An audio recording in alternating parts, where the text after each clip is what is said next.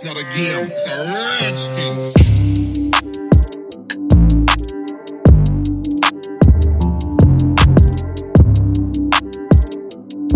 Yo, welcome back guys. So, new vlog for today. But first of all, I would like to thank you guys for your support, for all the feedbacks. Thank you so much, good or bad. Maraming maraming salamat. Kasi bago pa lang tayo, kailangan ko yan. So, video quality, voice quality, content. Thank you so much sa feedbacks no and suggestions guys. Ah, na-appreciate ko lahat yun. And sa mga tumutulong din sa akin on how to grow my YouTube channel, sa mga nagbibigay ng tips, ah, maraming maraming salamat. Kasi sabi nila, Coach, sayang yung content mo. Ang ganda-ganda ng mga contents mo. Kaso, konti lang yung nare-reach mo. So, hopefully soon, mas marami tayong ma-reach.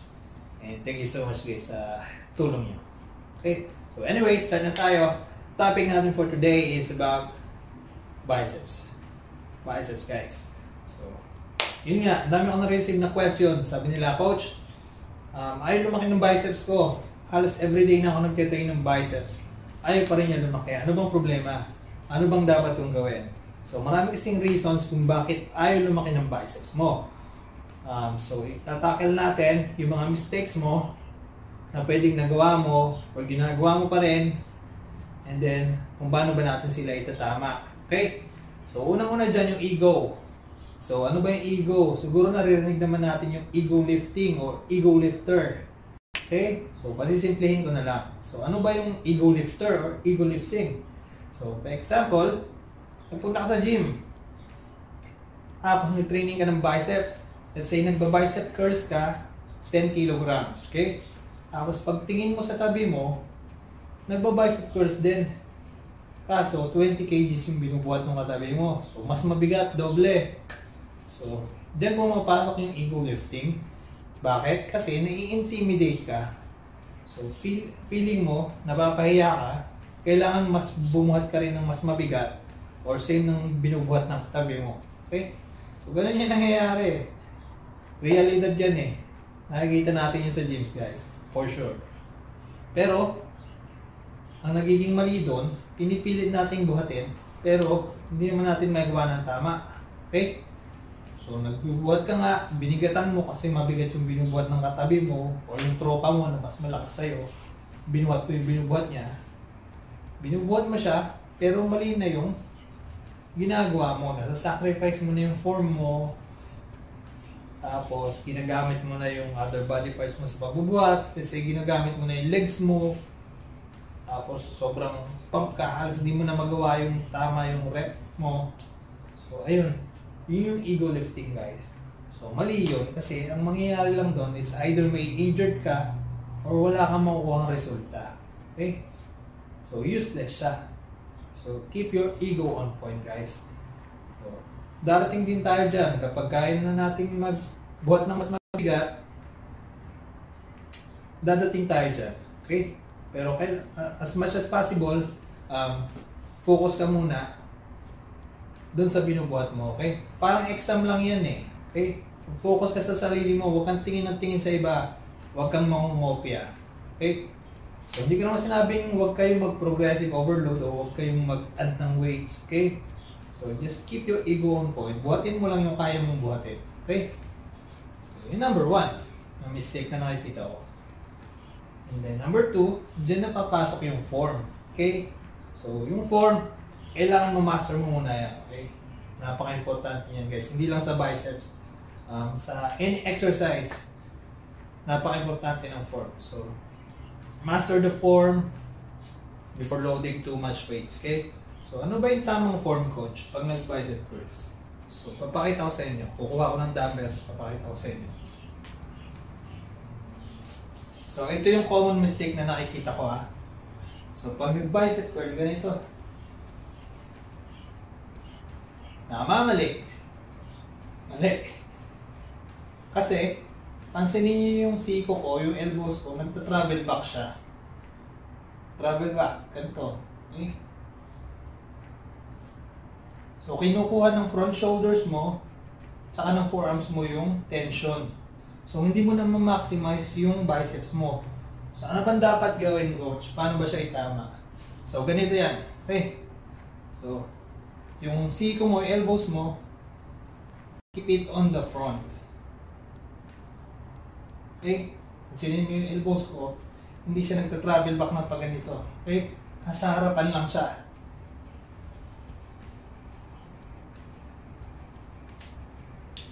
See?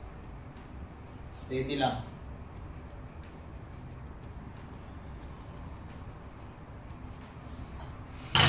So, ganun ano? So, practicein mo yung elbow mo na hindi siya mag-travel back. Practicein mo siya na naka-steady lang sa harapan. Okay? Ano na. So, ayun. Practicein mo yung form. Once na namasa mo na yung form, okay, fine. Go on heavier weights. So, ayun. Yun yung pangalawa guys, yung form. And then, ano pa ba? Andyan din yung tempo. Okay? So, ano ba yung tempo? So, tempo, dyan yung pumapasok sa reps mo. So, meron tayong tinatawag na quality reps, guys. So, kailangan quality yung reps natin para hindi masayang yung buhat natin, okay? So, pakita ko sa inyo yung tamang tempo.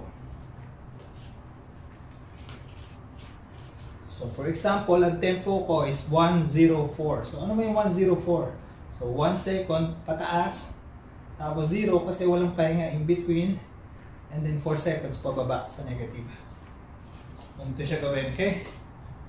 So, 1, so walang rest sa taas, 0, 1, 2, 3, 4. 1, 1, 2, 3, 4. 1, 1, 2, 3, and 4. Okay? So, nakikita ko namang mali sa tempo, guys. Ang ginagawa ng iba, ganito. Pump lang sila ng pump. So, ang mangyayaring tempo mo dyan, 1, 1, 1, 1, 1, 1. Okay? So, mali yun. So, mas maganda, quality reps tayo. Kunin natin yung negatives, dahan-dahan lang, control. So, up, control, dahan-dahan, kuha, ganun. Ganun lang guys. Huwag nyo sasayangin yung reps nyo ng puro ganun lang. Kailangan quality siya, okay? Kailangan ma-stimulate nyo ng gusto yung biceps nyo para lumaki siya. Okay? Para ma-stimulate nyo yung uh, muscle building, okay? So, ano pa ba? So, kailangan nating itama yung ego natin. Kailangan on point. Yung form, master the form. And then, yung tempo, quality reps. So, ano pa ba, coach? So, andyan din yung momentum. Parang yung kanina.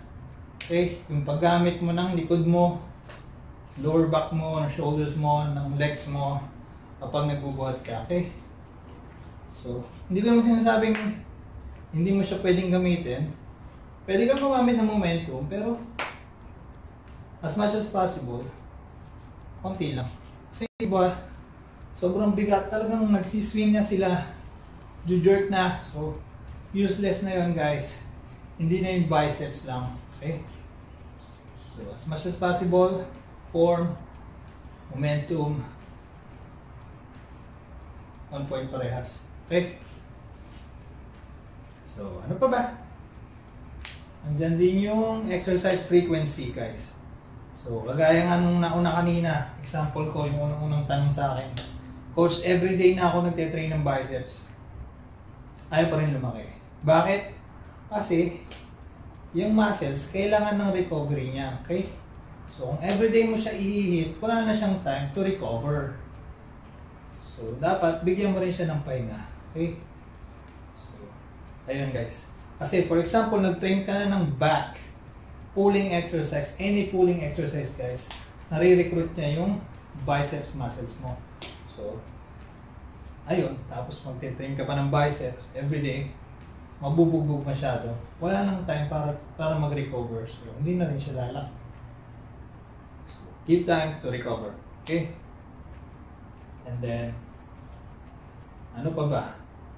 Um, nandyan din yung arms day na tinatawag. So kung ayaw talagang lumaki, kapag sa compound moves lang, kapag nagtitraining ka ng back, ayaw pa rin yan lumaki kapag sinasabay mo yung biceps. Give it a separate day called arms day. Okay? So, magkaroon ka ng sariling day para sa bicep mo, sabay mo ng triceps, para mas makapag-focus ka on stimulating your biceps. Okay? So, ayun guys. Arms day. So, ang ginagawa ko dyang split, for example, day 1 chest, day 2 back, day 3 shoulders, day 4 arms day. Okay? Diyan papasok yung bicep, triceps, and then legs. Then, I have 2 days rest. So, yun yung split ko pag nasa gym ako. So, kasi maliit din yung biceps ko eh. So, kailangan ko siyang bigyan ng attention talaga. Okay?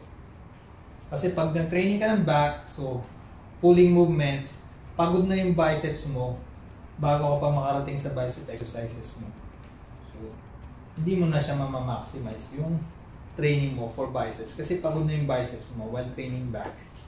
So, nagagets nyo ba? Okay, so just have a separate day for your biceps. Okay, so arms day. And then, ano pa ba? So, let's say nagawa mo na siyang lahat. Coach, tama na yung form ko. Tama na yung momentum ko. Hindi ako masyado nagamit nun. Tama rin yung tempo ko. Nakukuha ko na yung quality reps. And then, ayun nga, may sarili na akong day for arms. So, ginawa ko lahat yun, coach. May progress naman. Kaso mabagal. Bagal, coach. So, ano pa bang problema? So, dyan papasok yung nutrition. So, kahit anong muscle parts na train mo, kahit anong galing mo sa training kapag off yung nutrition mo, mahihirapan ka talaga. Okay? You can get a progress, but sobrang bagal niyan for sure. So, para hindi masayang yung pagod natin, yung training natin sa gym, kailangan yung pagkain natin on point din. Okay? So, kailangan high protein yan, and your fat and carbs as much as possible, pasok sa macros nyo, and sa total calories na kailangan nyo per day. Okay? So, kailangan on point yan. Kasi sabi nga nila, let's say 80% on the nutrition, 20% on training, or 70% nutrition, 30% training. So, kailangan talaga yung, yung dalawang yan, on point ka parehas. Okay? Para buo tayo, complete, hindi masayang yung training natin. Okay? So, yun guys. Yun yung mga tips na kailangan tandaan nyo kapag nagte-training kayo ng biceps. Okay?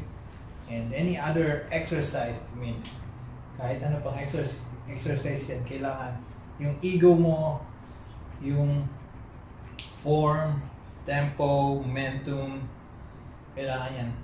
On point lahat, guys. So, ayan, sana nakatulong ako ulit sa inyo and yun nga, kung may suggestions kayo for my next vlog, sabihin nyo lang ako. Okay? Thank you so much guys and see you on the next vlog.